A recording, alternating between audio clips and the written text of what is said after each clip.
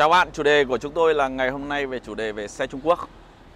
Và nhân vật cũng rất đặc biệt là anh à, anh Quang Là có một cái bề dày lịch sử là dùng các cái dòng xe Trung Quốc Từ JT Z8 này Beijing X7 Beijing X7 Vâng. Beijing X7 giờ vẫn đi. Vâng, vẫn, vẫn, à, vẫn đi Và chiếc mới nhất là Eco 01. Eco 01 Vâng. Một chiếc xe được được ờ, nhắc đến với cái mức giá và cái định vị nằm ở phân khúc cao cấp của những chiếc xe Trung Quốc. Câu hỏi đầu tiên dành cho Quang Dạ. quan điểm như nào và định kiến với cái vấn đề định kiến về những chiếc xe Trung Quốc, đặc biệt là vấn đề về chất lượng và độ an toàn. À, thật ra với em thì ờ, định kiến xe Trung Quốc thì em nghĩ là ở thời điểm trước khi mà những ờ, chiếc xe Trung Quốc nhập về từ những năm à, 2007, 2008 cho đến giai đoạn 2010 cho đến à, 2018 thật ra cũng có rất nhiều mẫu xe xuất hiện nhưng mà thực sự là nó mới ờ, len lỏi vào trong thị trường, nhưng mà chưa tạo được cái dấu ấn. Thứ hai là hằn sâu trong cái ờ, ờ, định kiến ờ, trong cái thị trường kinh doanh thương mại thì nhiều khi người ta bảo cứ là đồ tàu là đồ đẻo. Đấy, xong tự nhiên là gán ghép những cái mặt hàng khác. Xong rồi khi mà chiếc xe, những chiếc xe Trung Quốc về Việt Nam thì tự nhiên là nó cũng theo cái quần đấy là người ta coi luôn là cái xe, những cái chiếc xe đến từ Trung Quốc là không bền và không không ổn định.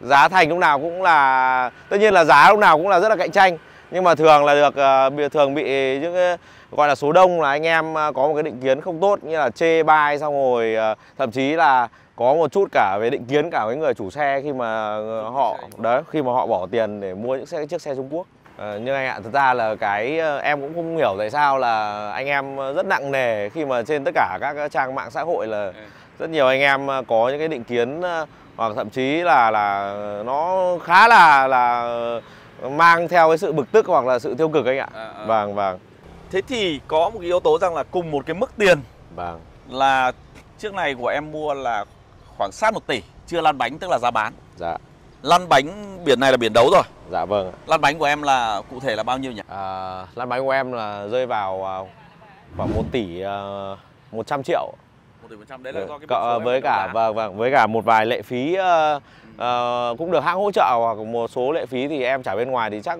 cứ, cứ cộng thêm vài triệu nữa cho nó Rồi. thoải mái. Còn Vâng. giá bán nét của xe là 999. À, vâng đúng 999 triệu ạ. Bản cao cấp bảo cái cao nhất của Linh Eco 01. À, vâng bản đang ờ, đang phân phối tại Việt Nam. Vâng. vâng. Vậy thì trong cái tầm 1 tỷ giá xe 1 tỷ mốt hơn lăn bánh Vâng. mình có rất nhiều lựa chọn. Anh có thể kể cái tên nào Dạ. là ờ, một chiếc xe có nguồn gốc từ Trung Quốc như Ford là Territory chẳng hạn. Vâng. Sportage, Dạ. CX5, CRV vân vân các cái phiên bản mình có rất nhiều lựa chọn, thậm chí CX8 ở cái vùng giá bản thấp. Dạ. Vậy tại sao mình lại quyết định lựa chọn một cái xe ờ, tới từ Trung Quốc? À, thật ra là em ờ, Có những cái yếu tố cụ thể như thế nào? Ờ, ví dụ như yếu tố về giá thành khi mà em ờ, quyết định xuống tiền một chiếc xe Trung Quốc Ừ. là vì mình cũng đã có kinh nghiệm ờ, từ 4 5 năm khi mà mình đã mua từng mua những chiếc xe như do TZ8 hay mình mua cả những chiếc uh, Beijing X7. Ở chiếc Beijing X7 thì bây giờ em vẫn sử dụng ba khoảng ờ, ngoài 3 năm rồi. Nó vẫn ờ, khá là lành và ổn định. Thứ hai là em cũng ờ, khá chủ động trong cái việc ờ, ờ, chăm sóc và bảo dưỡng xe Ừ, và thứ hai là cộng với là linh phụ kiện thì với em thì với kinh nghiệm là từ năm 2013 cũng đã va chạm với ờ, ờ, kinh doanh buôn bán ờ, ở bên ờ, Trung Quốc thì ờ, cái đấy em nghĩ là không có gì khó và thứ hai là ờ, chiếc ờ, ví dụ như chiếc Lienco 01 này thì ờ, ờ, từ năm 2019 ấy, em có dịp ờ, du lịch ở bên ờ, Thượng Hải, Bắc Kinh và Hàng Châu Ừ. thì em cũng có cơ hội là được ờ, tiếp xúc với những cái phiên bản ờ, đầu tiên của chiếc Lienco 01 này Rồi. Thì ờ, em cũng rất là yêu thích về cái thiết kế. Thứ hai là cũng xem ờ, kết hợp và mình ờ, tìm hiểu các trang mạng ở Trung Quốc. Đấy đã tạo ra một cái cơn sốt ở trên trên mạng. Rất nhiều anh em gọi là hỏi han về giá.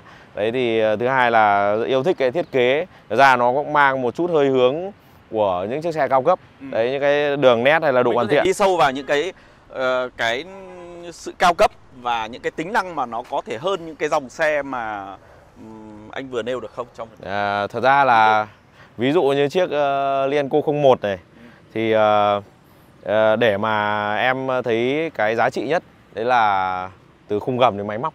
à, khung gầm Vâng. Máy móc ờ, thì ờ, được treo trước nó là treo McPherson đấy anh ạ. McPherson.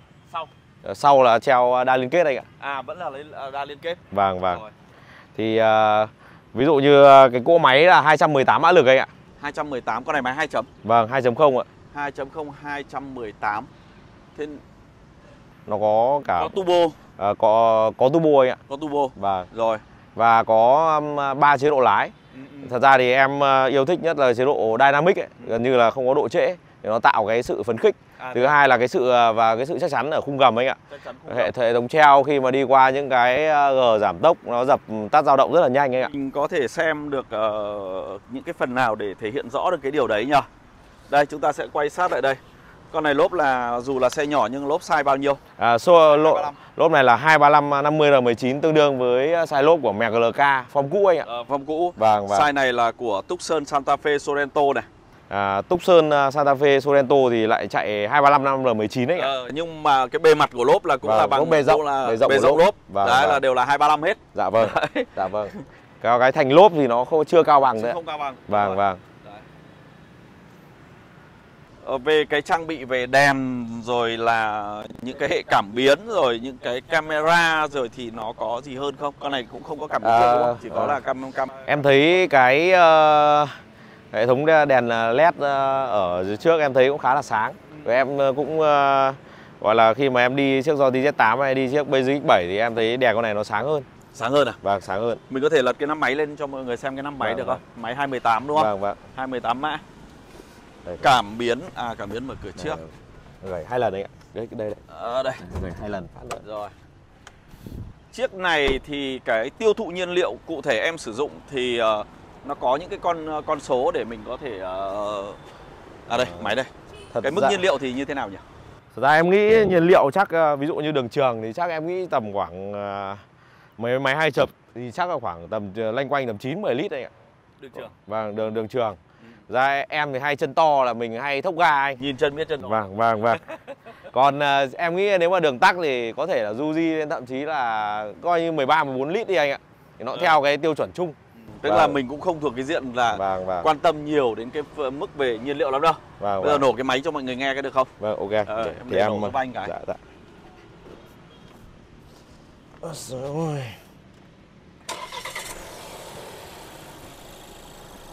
Em yêu thích là cái ờ, nghĩa là cái khoang máy nổ rất là êm ái. không? Vâng Nghe vâng. máy nó tròn, Vâng vâng.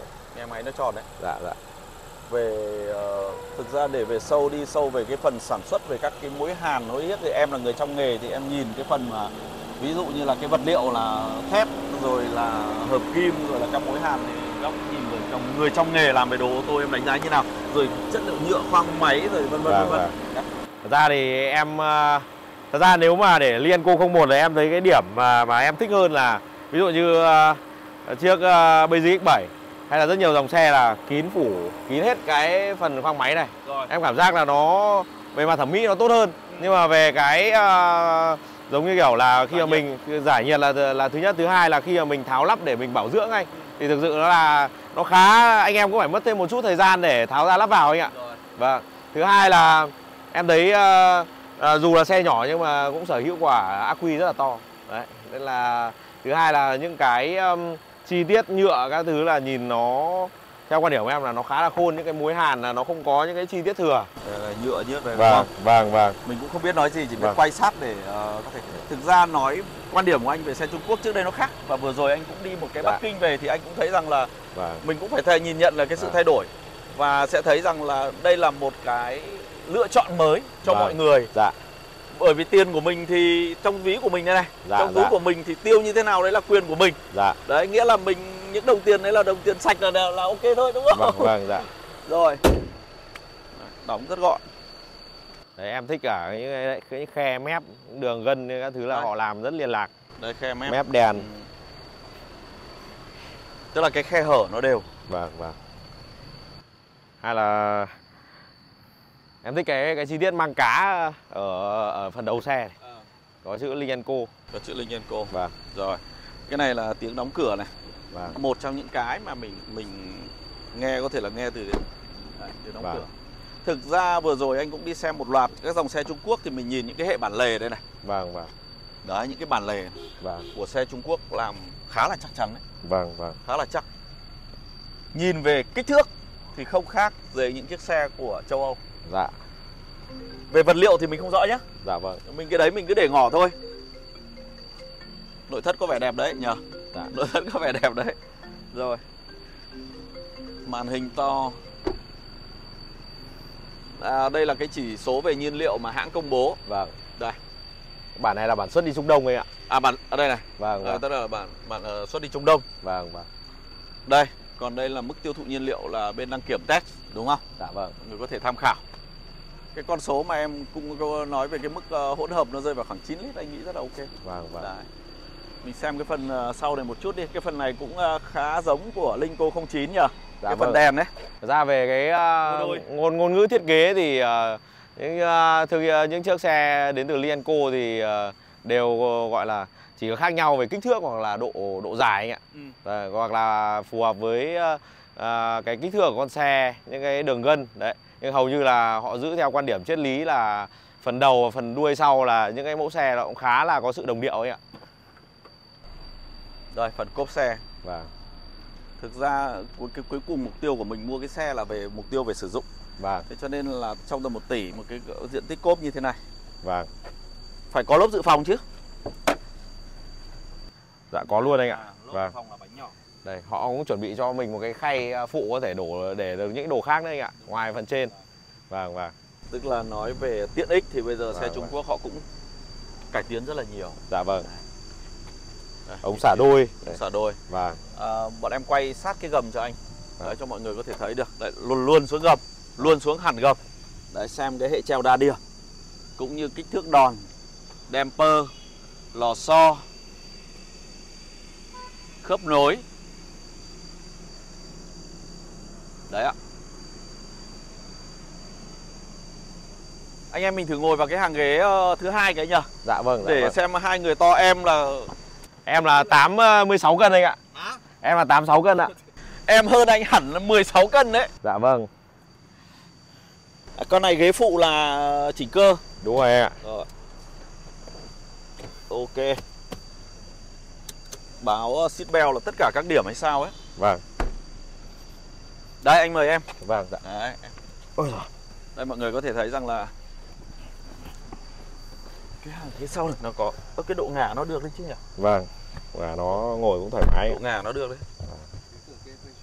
Vị trí ghế lái này của em là ờ, để nguyên cái vị trí lúc em ngồi lái này. Vâng, dạ vâng. Ở đây thì mình có thể thấy là Cửa sổ trời toàn cửa cảnh. sổ trời toàn cảnh Vâng. và có rèm. Vâng. Tất cả hệ đèn đều là đèn led Vâng. đúng không? Led tự động ấy. led tự động Vâng. đây là tựa đầu là đúng thiết kế kiểu ờ, những cái dòng xe cao cấp tới từ kiểu châu âu này đúng không da Vâng. da này là da gì đây À, em nghĩ là một loại da công nghiệp, da tổng hợp nhưng nhưng cũng ờ, nhưng mềm nó vâng nhưng, nhưng cũng loại loại tốt. ừ, đây kiểu ờ, da lộn này Vâng, da lộn. Đấy. cũng thế Em thấy giá trị nhất của con xe là cái hàng ghế trước của con này. Ừ. Đấy. Hàng ờ, có một cái sự ờ, thể thao như chiếc xe đua.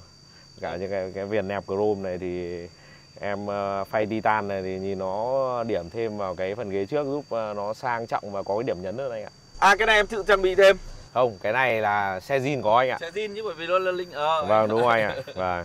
ok điều hòa sau này Vâng. Cổng ờ, USB. usb loa có thương hiệu không Ờ, loa này thì gọi là với cái bản này gọi là loa 8 loa 8 loa tiêu chuẩn anh ạ. con này bao nhiêu túi khí em nhỉ ờ, hình như con này là là 6, bản này như là 6 đấy bạn. 6 loa Vâng, vâng. 6, 6 túi khí Nó làm kiểu chắc chắn đấy, nó không có tiếng cọt kẹt gì luôn anh. đập được không Thoải mái. thoải mái à? Vâng. Nó làm ờ, chắc chắn đấy, em đi không có tiếng cọt kẹt gì luôn. AC này Vâng. Điều hòa mát không em? Mùa mùa nóng vừa rồi đi mát không? Điều hòa cũng là một trong những cái mà Con- này mát mát là sâu đấy. Được. mát sâu. Vâng. Thường ví dụ nó- như khoảng ờ, 38 40 độ thì ờ, nhiệt độ nền 38 40 độ thì em để khoảng nấc bao nhiêu? Ừ, chúc em để tầm 22. Để auto nó về 22. Tầm 22 là ok. này ờ, cam 360 này. Vâng. Chấm trước có ra trước không? À có hết này. Có cả hai bên lề luôn Là ạ. quay luôn này. Vâng. Cam nét nhở? Vâng. Cam cam của những chiếc xe Trung Quốc kể cả đội aftermarket thì cam Trung Quốc bây giờ quá khủng khiếp. Vâng. Độ nét cao đây chứ. Vâng. Đây nhìn thiết kế xe. Con này có đổi màu được chứ? Con này đổi màu thì ờ, Ví dụ xe đồ màu đỏ mình chơi màu đỏ. CarPlay là không dây này. đúng rồi À. kết nối rất là nhanh luôn này Cái màn hình này là kích thước bao nhiêu? ờ, hình như em nhớ cái Con màn- này là 12.3 này. màn này như em nhớ là màn này không không dưới 14 inch đâu ấy ừ. chung là tự, tương đối là dễ dùng Vâng. đây có cái phím này back về home nó nhanh. Bởi vì nếu trong trường hợp mà tôi bị uh, vân tay kém. Vâng. có lọc khí đây auto luôn. Anh À, cần đây. auto này lọc khí luôn. Vâng. và ở đây đội Linh Co này cũng rất hay ở cái là họ vẫn cho mình cái cái phím ờ, vật lý. vật lý đây này. Vâng. em thích xoay cái này hơn. Ừ. nếu mà chỉnh điều hòa thì anh cũng thích cái này. Vâng vâng. Còn nếu mà chỉnh về âm thanh thì vẫn có cái phím vật lý đây này. Vâng vâng. Đó. Dry mode là có mấy dry mode. Vâng ba chế độ ấy ạ. Eco Comfort và Dynamic 218 bình thường thật ra bình thường ờ, em hay đi comfort dynamic thì nó hơi gọi là là nếu mà Hơi trong phố à? không phải trong phố năm sáu mươi cây thì nó nhấp cái lại lên. Tí, tí chạy thử. Và người anh. Tí chạy thử. Con này vuốt là có sang không? Không đúng không? Không, nó chỉ Cái- có màn hình cứng như ờ, này ạ. màn hình cứng thôi. Ok. chủ yếu phần setting này. Ra nói chung là giao diện này cũng gọi là cơ bản. Ừ, gần dễ như dùng. là vâng, dễ dùng ờ, dễ tìm kiếm. Ờ, Ờ, phân các cái nhóm tiện ích như từ VK này đấy. Và connect display các kiểu tức Vâng. là cũng tương đối là dễ dùng. Và Đấy, về về về về mặt công thái học. Ở đây à điều hòa lại có cả ở đây đấy chứ. Có cả ở đây này, cả phím Vâng, vật lý ở đây chứ vâng. không phải. Cái này anh cũng thích. Vâng. ông BID cũng làm thế. Và BID cũng thường là sẽ kết hợp cả cảm ứng với cả còn Vâng. nhiều chiếc xe là anh thấy là chuyển hết lên cảm ứng thì nhiều khi mình dùng nó cũng cũng có gặp vấn đề đấy. Và nhất là tại điều kiện Việt Nam. Phanh điện tử số điện tử vật liệu ở đây cũng làm khôn đấy chứ. Và hai chỗ để cốc ấy. Chỗ này thì ờ, họ thiết kế khá hay vì bình thường nhiều khi hãng hãng, hãng làm rất là nông ấy. Em để điện thoại này nó chắc cú hơn. Thì nó ví dụ trong trường hợp Vâng. mình mở cửa ra thì nó không Vâng, hay nó đúng rồi. Vì Rồi. bình thường hãng khác là làm chỉ có hơi nông thôi Ờ, đèn thông minh này. Đấy. đèn thông minh này gặp mưa auto đủ hết. Có hệ thống trợ lái ADAS. Vâng. Đúng không? Vâng. toàn giải luôn. Vâng. Lim nữa có cả lim anh ạ Anh thích là cái tốt lim. rồi. vâng. Anh thích cái lim hỗ trợ à à, đây đường này trên cao tốc. ờ, mình lựa chọn là mình lựa chọn ở trong này. Đúng rồi anh ạ. Tôi muốn lựa chọn cái nào thì Vâng. lựa đây speed Không limit kích hoạt thì anh lại ấn nút là, trên. là, là nút cộng. Và ừ. đấy. Đấy nói chung là đây, đây. bạn muốn dùng adaptive cruise cũng được đúng không? Trong highway assist. Vâng. Highway assist này nó hỗ trợ đánh cả lái này Vâng. Cái đấy auto tất cả các ờ, cùng cái adaptive cruise control cộng vào đấy luôn này. cộng với cả hỗ trợ giữ làn này Vâng, vâng. Cân cân làn này Dạ dạ. ok về cái đấy là các cái tính năng sử dụng vô lăng bốn hướng Vâng. Đó. rồi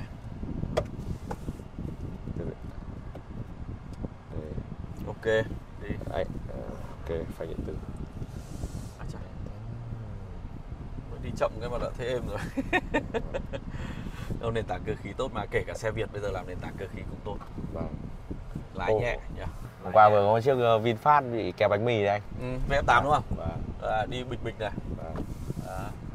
chính là nhiều khi mình không phải chạy tốc cao nhá bởi vì ví dụ như ở xe ở mình là hay lên xuống vỉa lên xuống vỉa nhẹ này êm này bịch này Vâng. bịch này tí quay ngoài cho mọi người xem cái phần lên eco máy 28 đang là có Cái cô ấy. ờ, để có Ford Vâng, vâng.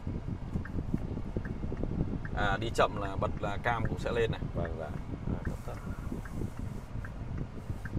con này anh nghĩ là đi phố rất là gọn này. gọn nó có mấy yếu tố về kích thước này lái lái nhẹ Vâng. Đây là nhẹ. lái rất nhẹ bản kính quay đầu con này chắc nhỏ Đây. Thật ra con này em thấy nó dày thân đấy anh ạ. Nó dày dày thân đấy, nhìn nhìn nó kiểu nó đậm Ô, anh. con này lên kinh đấy chứ Và lên khiếp đấy chứ. Dynamic ờ, còn đấy hơn anh ạ. đây mới là comfort đấy. Và mình chỉ thử nhẹ trong phố anh nghĩ xe này đi phố. Và phố quá thừa rồi đi phố là thừa. Đi phố là thừa. Thừa cực nhiều em chạy về Tucson với cả Sportit chấm 6 turbo chưa? Ờ, có- xe bạn em có rồi. Bốc bằng không?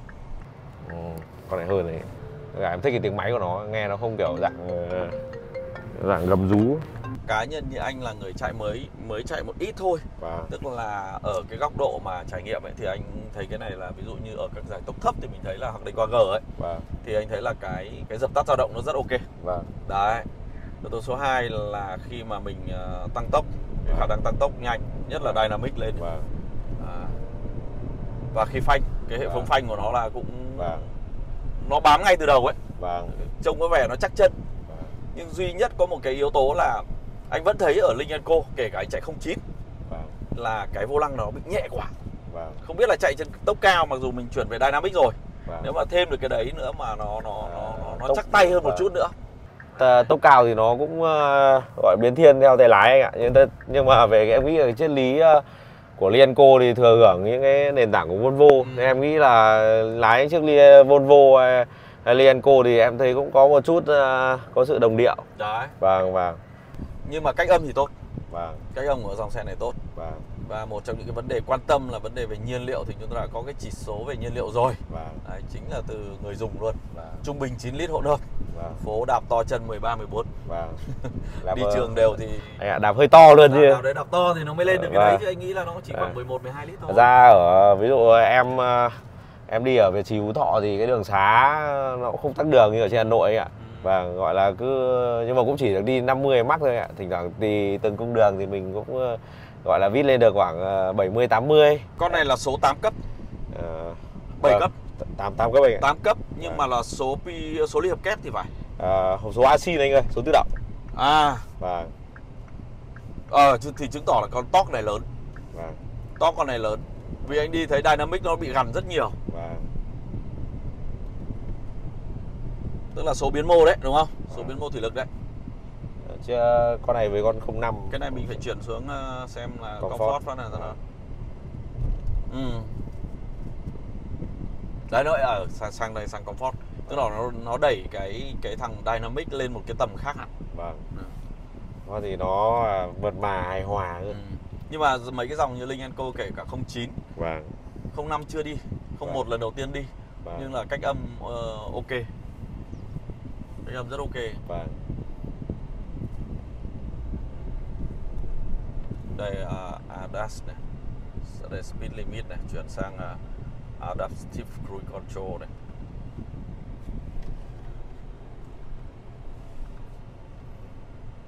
Và từ bắt toàn giải đấy vâng.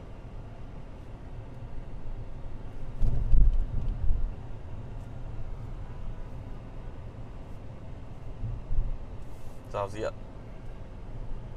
Có nhiều giao diện đấy. Ờ, nhiều giao diện. Cái này thì bây giờ thì hầu hết các dòng xe là đều ờ, đều làm theo kiểu nhiều giao diện rồi và theo cái chế độ lái. Vâng. trông nó đỡ nhàm chán đúng không? Vâng.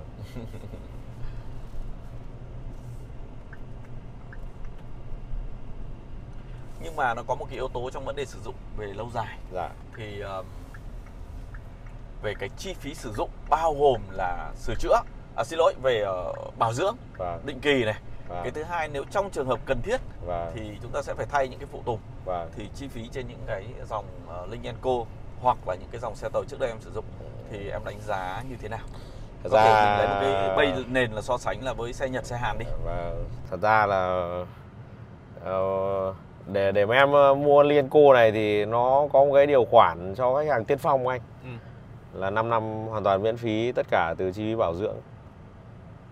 À, cả dầu nhớt các thứ luôn đến tận 15 vạn km anh ạ thì trong có cái sổ bảo hành thì anh em cứ đạt mốc km thì ờ, mình lại qua hãng cái chính sách này cũng rất là giống với bên ờ, của bên Volvo anh ạ ừ. vâng thì ra thì em cái chi phí này chắc là chi phí về mua bảo hiểm Ừ. à, thân vỏ Rồi. dân sự xong rồi chi phí xăng đây anh ạ Ờ, chứ còn ờ, bảo dưỡng không phải lo luôn bảo dưỡng 5 năm là coi như là yên tâm sử dụng thay ờ, lọc dầu lọc gió định kỳ các kiểu là cũng không phải vâng tất cả luôn anh ạ má phanh các kiểu đến định kỳ cần nếu trong trường hợp cần phải thay Vâng, vâng, tất cả từ vệ sinh hay là tra mỡ hay là kiểm tra tổng thể bài khung gầm là ờ, bên Li- hãng Lienco là hiện tại đang ờ, đang hỗ trợ khách hàng gần như là toàn diện luôn anh ạ. Từ ờ, chỉ khách hàng yên tâm sử dụng thôi Ừ. và bỏ chi phí ờ, như về nhiên liệu thôi. Rồi Vâng, còn về bảo dưỡng bảo hành thì Không phải lo. ờ, không phải lo. năm Vâng, vâng. 5 năm anh đánh giá là một quãng thời gian rất dài Vâng, còn à, ờ, có thể là em ngoài lề một chút thì nếu mà để so sánh chiếc Basic X7 của em so với bảo dưỡng chiếc xe Nhật xe Hàn anh ơi Ừ. thì thật ra là thường những cái mốc sơ cấp cho đến trung cấp ừ. thì nó cũng loanh quanh từ 2 triệu cho đến à, 4 triệu Ừ. xong rồi bảo dưỡng lớn thì nó rơi vào tầm uh, 5 đến 7 triệu nhưng mà thường bảo dưỡng thì ờ, nếu mình ờ, có một chút ờ, kinh nghiệm thì anh em mình ờ, sẽ phân bổ những cái đầu việc hay là những cái mốc km hợp lý Ừ. để, sao cho đấy nó cũng chỉ loanh quanh như vậy thôi anh ạ Ừ, ừ. vâng vâng Ừ, tức là về mặt chi phí còn chiếc này của em là bảo hành bao lâu nhỉ Chiếc này của em là bảo hành 5 năm anh ạ. Cả bảo hành cả bảo dưỡng 5 năm đấy. Ra thì em nghĩ là một chiếc xe mà gắn bó 5 năm với mình thì nó là một cái khoảng thời gian không gọi là không ngắn nhưng mà cũng là thời gian sử dụng cũng khá là lâu. Cả thứ hai là mình bây giờ là theo quan điểm là kinh tế phải đi lên anh ạ đấy thì mình phải cố gắng khi mà sở hữu chiếc xe tốt hơn ừ. mình đi quan hệ khách hàng tốt hơn thì trong công việc mình có cái sự thúc đẩy phát triển thì tương lai thì em nghĩ là 5 năm thì khi mà mình cũng đã tích lũy được một cái nguồn tài chính rồi em có thể là vẫn giữ lại chiếc 01 em lại mua một chiếc cao cấp hơn ví dụ như là 0509 đúng không? À, không em có thể là em sẽ chờ đợi siêu phẩm nào ví dụ như kiểu di cơ liên quan đến ờ, di cơ cũng cùng cái ờ, hệ sinh thái của Volvo với cả Geely ừ. với cả Lienco là liên quan mảng điện ừ, ừ. hoặc là em chờ chiếc Lienco 08 chẳng hạn thế ạ à. vâng thì có thể là cái câu chuyện đấy uh, uh, em vẫn dành con X7 bây giờ X7 để có thể là sau này em uh, Ờ, đến thời điểm ờ, ấy thì em bán chiếc xe đi và em ờ, các thêm một chút một chút tiền để em đổi chiếc xe mới. Thì em mua chiếc con một này là vì nó đam mê quá. Thứ hai là cũng mình yêu thích nó lâu rồi nên là mình quyết tâm là mình phải sở hữu. Vì khi mà mình sở hữu anh ạ mình có thời gian sử dụng nó hàng ngày. Xong rồi mình cảm nhận là cái sự ổn định hay sự bền bỉ hay là những cái giá trị của nó mang lại. Ừ. thì mình sẽ có những cái câu chuyện thực chất nhất. Thay vì những cái việc là mình chỉ nghe trên mạng người ta nói người ta, nhưng mà không có tính xác thực. Đấy ạ về em ờ, theo quan điểm của em thì thật ra là cộng với là là em ờ, chăm sóc hay là cũng uh, em mua mua chiếc xe Lienco thì uh, theo cái cơ chế quảng cáo bảo dưỡng bảo hành của hãng thì em muốn được uh, trải nghiệm. Em muốn được uh, hưởng cái ưu đãi đấy để xem uh, cái sự chuyên nghiệp hoặc là những cái lời quảng cáo của bên hãng là xem nó có đúng không? Ừ, ừ, ừ. đấy thế thì em mua chiếc xe Lienco này thì ờ, thì em cũng ờ, không có gì cả phải lo lắng cả. Dạ, anh nghĩ dạ. em sẽ giữ chiếc xe này còn lâu đấy. Vâng vâng. Xem ờ, cái độ bền. Vâng vâng. Đấy, rồi những cái vấn đề mà có thể chia sẻ sâu hơn trong quá trình sử dụng. Vâng, bởi vì vâng. không ai khác người dùng chính là người chia sẻ về chiếc xe chính xác nhất. Vâng đúng anh ạ. Đúng vâng, không? vâng em rất sẵn lòng với cả thứ hai là luôn luôn là mình là những người mua xe đầu tiên ừ. mình cũng có sẽ có những cái câu chuyện ngoài lề ừ. với là những kinh nghiệm sử dụng để chia sẻ cho anh em ờ, có thể là đang ờ, nghiên cứu hoặc cũng đang là muốn chuẩn bị xuống tiền để mua những chiếc xe từ Liên Coco từ ừ. hãng Liên Co à, hai là để có thể anh em có thêm cái động lực cộng với là cái sự yên tâm khi mà cái thị trường bây giờ rất là mở. Rất nhiều mã xe Trung Quốc ờ, nội địa chất lượng tốt hơn so với ờ, thời điểm trước. Đấy thì để anh em có trong cái tầm tiền là mình có thể lựa chọn được một cái mẫu xe mình thực sự yêu thích. Chứ không phải là mình ờ, cố gắng ép mình vào một cái mẫu xe chỉ trong tầm tiền đấy là mình chỉ có thể mua được cái mẫu xe đấy thôi. Rồi. nó nó sẽ là bây giờ cái thị trường uh, sẽ có thêm cái nhiều sự lựa chọn à, cho anh em tại vì không có gì bằng cái sự thực nhất thực chất mà về option mình được sử dụng hàng ngày mình được hưởng thay vì là uh, mình bỏ đồng tiền ra mình mua được những chiếc xe mà option không đầy đủ nhưng mà cái giá thành nó lại vẫn vẫn vẫn cao nó không đúng với giá trị thực của nó ở đây có thể muốn nói rằng là thêm những cái danh mục và vâng, những vâng. cái sự lựa chọn vâng, và vâng. tùy vào khẩu vị của bạn Vâng vâng. Bạn có thể lựa chọn theo đúng cái khẩu vị mà bạn yêu thích thôi. Vâng vâng. Chứ còn cũng không muốn muốn là để lôi kéo hay như thế nào cả vâng, đúng không? Đúng, đúng anh Ở trong cái tầm giá đấy thêm một cái sự lựa chọn. Vâng. Bạn thử đi, đấy vâng. đi rồi có thể quyết định cái nào cũng được. Vâng vâng vâng. Và đấy là cái thì, tốt cho thị trường. Vâng thì em vẫn khuyên các bạn là à, ví dụ mình trong tầm tiền này mình cứ đi lái thử tất cả những cái mẫu xe trong tầm tiền đi. Ừ. Để xong mình à, sẽ có thang điểm hoặc là có sẽ có sự so sánh. Nhưng mà thật ra này em vẫn đánh giá những xe Trung Quốc là trong tầm tiền lúc nào cũng sẽ có cái sự ưu việt hơn. Thịt nhiều. Vâng thịt nhiều hơn. Chỉ có cái là về cái về cái nhận diện thương hiệu. Tất nhiên là những cái hãng xe vừa mới xuất hiện ở Việt Nam họ cần những cái thời gian để khẳng định mình cần những cái thời gian để xây dựng cộng đồng cần cái thời gian để ờ, những người dùng à, nghĩa là trong cái đời sống hàng ngày những chiếc xe nó thể hiện cái giá trị về ờ, về bảo vệ tính mạng. Ừ. nhưng khi mà xảy ra cái tình huống bất chắc thì lúc đấy là anh em mình sẽ có những câu chuyện nó giá trị hơn và nó gọi là để mà mình có thể là mình mình uh, kết luận một câu là chiếc xe này có xứng đáng với cái số tiền mình bỏ ra không okay. đấy đấy là là em cũng uh, mong thời gian tới là là anh em sẽ uh, uh, có thêm được nhiều những cái sự lựa chọn tốt hơn Rồi. đấy và thôi chúc anh em luôn uh, gọi là Chọn đúng khẩu vị. và chọn đúng khẩu vị. Hai là anh em là cố gắng anh em uh, làm ăn kinh doanh đấy để mình có thể tích lũy mình có thể là trau dồi thêm đấy hoặc là mình uh, mình có thể sắm được những chiếc xe phù hợp với gọi là đúng với ước mơ và kỳ vọng của mình. Đấy. Một lần nữa là rất là cảm ơn sự nhiệt tình của Quang. vâng em cảm ơn anh. Ạ. vâng là anh